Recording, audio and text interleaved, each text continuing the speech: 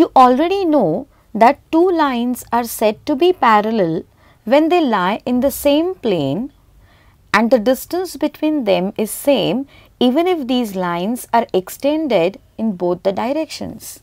Suppose you want to draw a parallelogram such that perpendicular distance between a pair of parallel sides is 6 centimeters. How will you draw this parallelogram? In such case, you will first draw one of the sides of the parallelogram. Then you will have to draw the other side parallel to this side at a perpendicular distance of 6 centimeters. Now here you will require to know about how to draw a line parallel to the given line at a given distance. Let us understand this construction. For this we need a pencil, a ruler, 130, 60, 90 degrees set square or 145, 45, 90 degrees set square to draw perpendicular on the given line. Also, you can see that as this angle is equal to 90 degrees, these two edges of the set square are perpendicular to each other. Let us use this 30, 60, 90 degrees set square for our construction. And let us learn the construction of a line M parallel to the given line L at a distance of 6 centimeters. Let us draw a line L by using pencil and ruler. Let us take a point A and point B on the line L.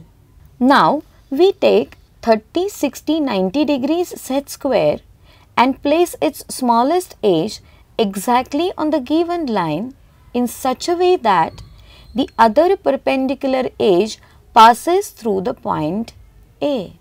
We hold this set square tight in the position and you can see that this edge is perpendicular to the given line at point A. Let us draw a line passing through point A which is perpendicular to line L at point A.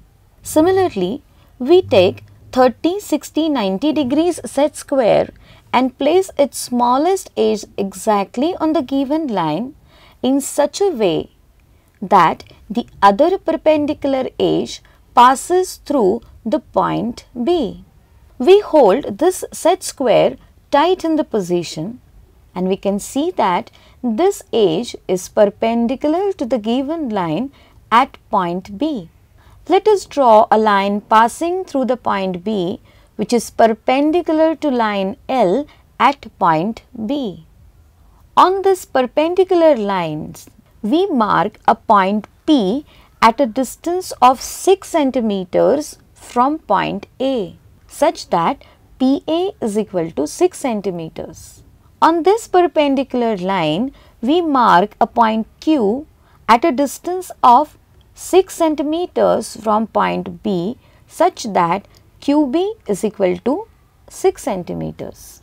As you know that when two lines are parallel, they lie in the same plane and the distance between them is always equal even if they are extended in both the directions. So, if we draw a single line passing through points P and Q both, then this line M will be at equal distance PA or QB that is 6 centimeters.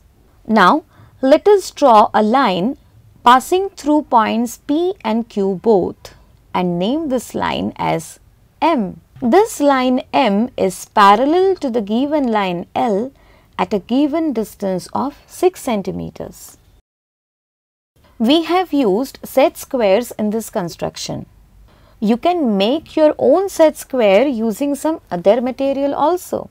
Just try it out. If you join multiple set squares, what all geometrical shapes do you think can be formed? Just think about it.